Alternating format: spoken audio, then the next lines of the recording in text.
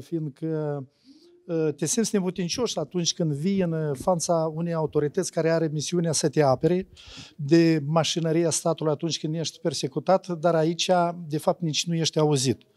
Ă, dacă toate procedeile ă, ce țin de procedura penală nu neapărat în Republica Moldova se mișcă cam în felul următor, de la probe spre individ sau către persoană, în cazul Tranga s-a procedat exact pe invers persoana a fost reținută pentru a fi dobândite probe. O să-mi confirm despre ceea ce spun eu prin uh, citatul din încheierea judecătorului din, uh, din instrucție. Atenție! Uh, Tranga Andrei a fost uh, reținut la 16 ore de la denunțul făcut de către persoana uh, care a făcut uh, acel denunț. Nu vreau să-i numesc numele, că nu, nu cunosc exact numele acestei persoane, fiind în arest nu știu, la domiciliu sau în arest preventiv. A făcut un denunț și în 16 ore a fost arestat. Despre care probe putem vorbi? Și dosarul penal a fost intentat exact după, după acel denunț. Când au reușit să adună aceste probe? Și drept confirmare nu pot să nu mă abțin dacă vă citesc exact cum scrie, uh,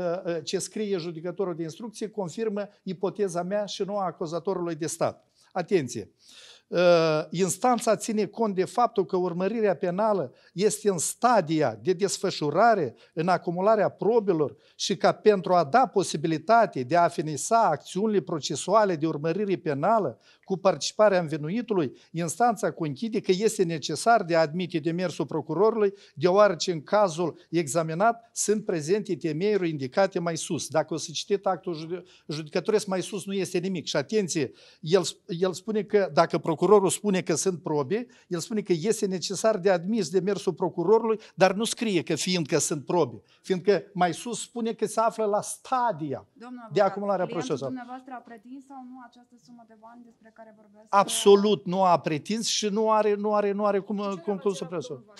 La, la, această, la această întrebare acum nu am vorbit despre relațiile lui personale care, uh-huh. care sunt, chiar absolut nu cunosc nimic și nu vreau să duc în eroare uh, opinia publică. După discuțiile care le, le, le voi avea, voi veni, cred că și Domnule, cu... Domnule, credeți că este vorba despre o justiție selectivă în acest caz? Uh, eu uh, mă abțin deocamdată să fac uh, uh, declarații dure, fiindcă lucrăm pe câteva piste, ceea ce este evident și toată lumea vede acest lucru.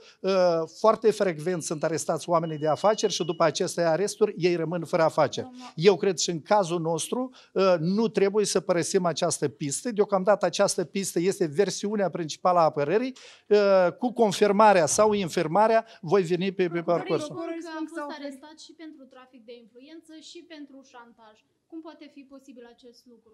Uh, de principiu vreau să spun pentru cei care ne privesc și ne ascultă.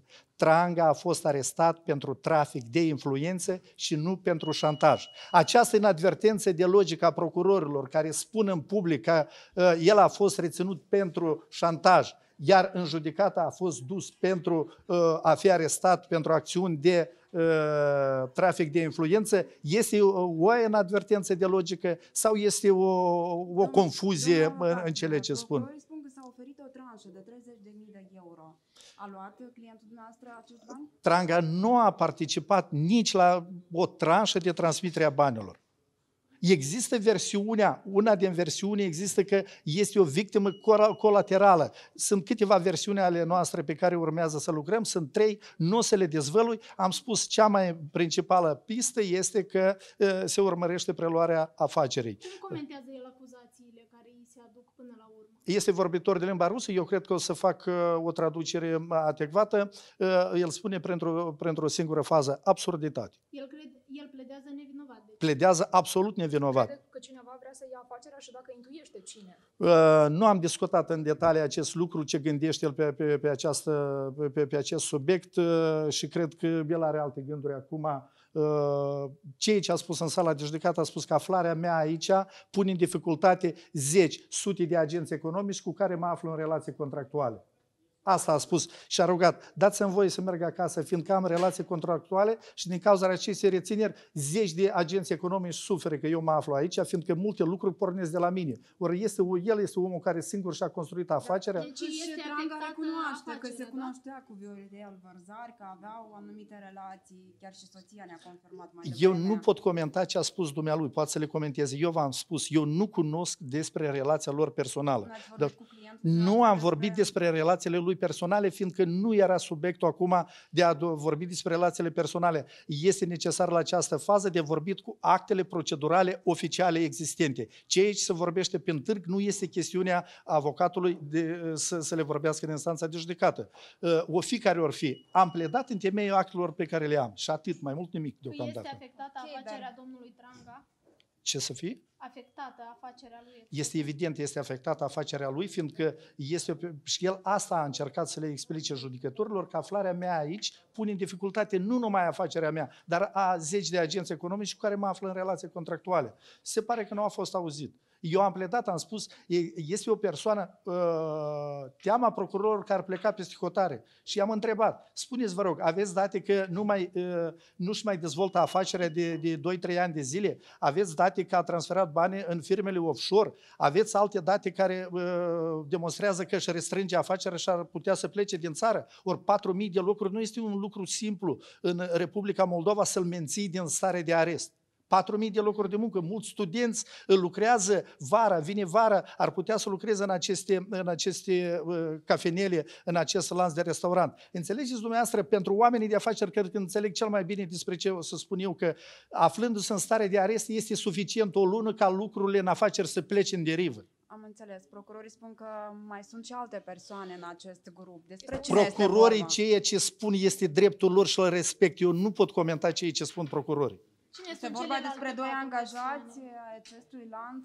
Nu de cunosc restaurante? despre angajații acestui lanț, cunosc despre uh, Andrei Tranga și implicarea lui acesta. Nu vă supărați, dar nu pot comenta pe această pistă, că altfel am, am riscul să bulversez multe Dar lucruri el în spațiul susținea că problem. are influență asupra unor procurori din uh, țara noastră care ar putea să-l ajute pe acest Varzar să scape de dosar? Repet, dânsul explică printr-o singură față. Este o absurditate în ceea ce mă implic eu, este o absurditate și denunțul lui Varzari și el spune, apropo, acum spune asta, la, dacă cineva m-ar interoga, dacă cineva mi-ar face o confruntare, toate cele scrise în denunț s-ar risipi în câteva, în, câ- în câteva ore. Însă de când sunt arestat, nu s-a efectuat uh, proceduri uh, uh, ce țin de confruntare cu, cu, cu această persoană care a, fă- a, a, l-a denunțat. În opinia mea, este un lucru important la această fază atunci când persoana se face în arest. Această confruntare nu a avut loc.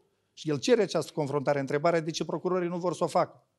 Și cui, cui, e, cui face bine aflarea lui în arest? Sau mai bine zis, cine își dorește afla, aflarea lui Tranga în arest? Tranga, repet, nu în fiecare zi în Republica Moldova este arestat un om de afaceri care are uh, în jur de 4.000 de locuri de muncă în spate. Dar zeci de oameni de afaceri în Republica Moldova își restrâng afacerile sau cei care vor să le pornească pleacă din Republica Moldova. Și de fapt cazul Tranga nu numai este numai cazul Tranga. Cazul Tranga este despre starea de lucruri în afaceri în Republica Moldova. Ori Este de notorietate că multe afaceri în Republica Moldova au dispărut după astfel de arestări.